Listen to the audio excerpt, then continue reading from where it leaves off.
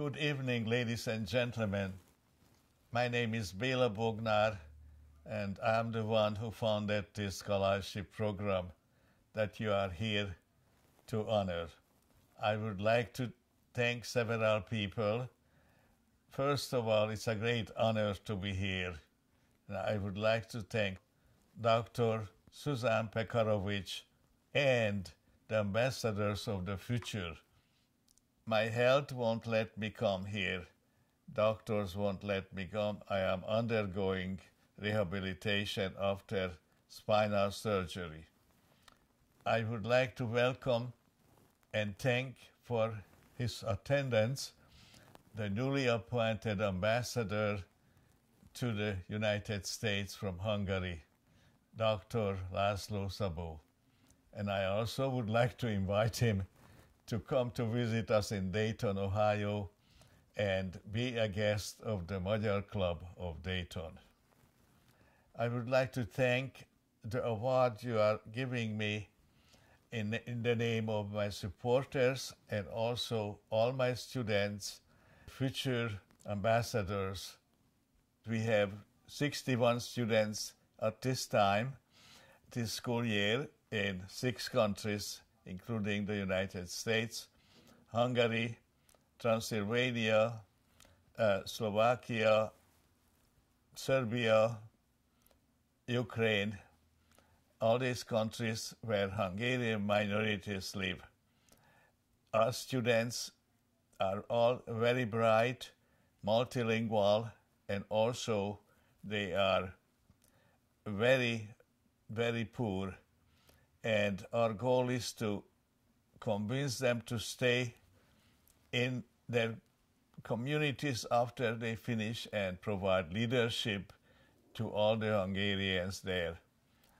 I would like to tell you why I am doing all of this because many people are asking. And I have to tell my story and my relationship with my grandmother. I was born exactly two days before this day, 80, 86 years ago this is a great birthday present for me to be here. I was born in top of this grapes and orchard hill in Pakot County, and my parents came up from the village to help with grape picking of the grapes, and I was born four o'clock in the morning. Next day, my grandmother said to uh, my mother, keep little Bela here for a couple of days and I will take care of her, her, him. You can come up to uh, feed, breastfeed him, but we have six cows here. There is plenty of milk. From the few days, it took six years before she let me go down to school, first grade she was four-year educated peasant woman who had such good memory that she memorized the prayers of the entire Catholic Church and tried to teach me some. Then came 1956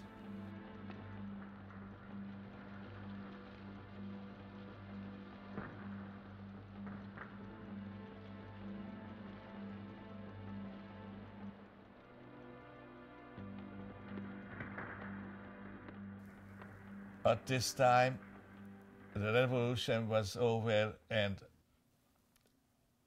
I wanted to say goodbye to everybody.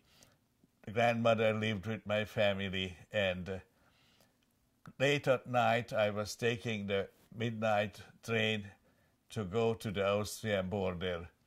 And she came out with me to the gate, kissing me, hugging me, and crying. And she said these eternal words that, that guided my life to this day. Uh, remember, my little Bela, what I repeat, repeated to you all these years when we said goodbye. What you do for others will give meaning to your life. And she repeated this twice. That is why I am here today, and hopefully I will continue. Thank you.